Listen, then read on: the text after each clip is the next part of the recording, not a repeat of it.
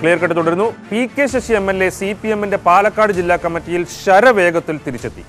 C P എമ്മിന്റെ പഴയ സംഘടനാ സംവിധാനം വെച്ചാണെങ്കിൽ അച്ചടക്ക നടപടി നേരിട്ടയാൾ കാൻഡിഡേറ്റ് മെമ്പറായി ബ്രാഞ്ച് കമ്മിറ്റിയിൽ നിന്നാണ് തുടങ്ങേണ്ടത്. പരാതി നൽകിയ വനിതാ നേതാവ് സംഘടന തന്നെ വിട്ടുപോയതോടെ ശശിയെ ജില്ലാ കമ്മിറ്റിയിലല്ല വേണമെങ്കിൽ പി ബിയിലേക്ക് വരെ എടുക്കുന്നതിന് തടസ്സമില്ല എന്നതാണ് ഇപ്പോഴത്തെ സ്ഥിതി. നാല് മാസമാവും.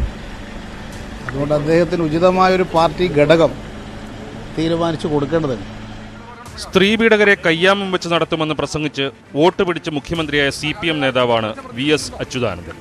ഒരു വ്യാഴവട്ടത്തിന് ശേഷം സി പി എം സമ്പൂർണമായി തിരുത്തലുകളുടെ വഴിയിലാണെന്ന് ധരിക്കാൻ കാരണങ്ങൾ ഒരുപാടുണ്ട്.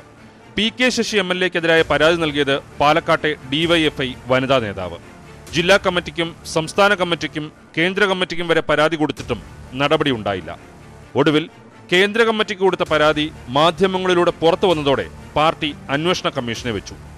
മന്ത്രി എ കെ ബാലനും മുൻ മന്ത്രി പി കെ ശ്രീമതിയും അടങ്ങിയ സമിതി അന്വേഷിച്ച് ശശിക്കെതിരെ നടപടിക്ക് ശുപാർശ നൽകി. പാർട്ടി ശശിയെ പ്രാഥമിക അംഗത്വത്തിൽ നിന്ന് തന്നെ സസ്പെൻഡ് ചെയ്തു. അതോടെ പാർട്ടി അംഗമല്ലാത്ത എം എൽ എ ആയി തുടർന്ന ശശി ഒടുവിൽ കാലാവധി കഴിഞ്ഞതോടെ ജില്ലാ കമ്മിറ്റിയിൽ തന്നെ തിരിച്ചെത്തി. ഡിവൈഎഫ്ഐ ജില്ലാ കമ്മിറ്റിയിൽ ഉണ്ടായിരുന്ന പരാതിക്കാരി സംഘടന തന്നെ ഉപേക്ഷിക്കുന്നതായി കത്തും നൽകി. എന്ത് സന്ദേശമാണ് സി പി എം ഇവിടെ നൽകുന്നത്? പരാതി നൽകിയ വനിതാ നേതാവിനെ തിരികെ കൊണ്ടുവരാൻ ഇതുവരെ ഒരു നേതാവും ശ്രമിച്ചതായി വിവരമില്ല.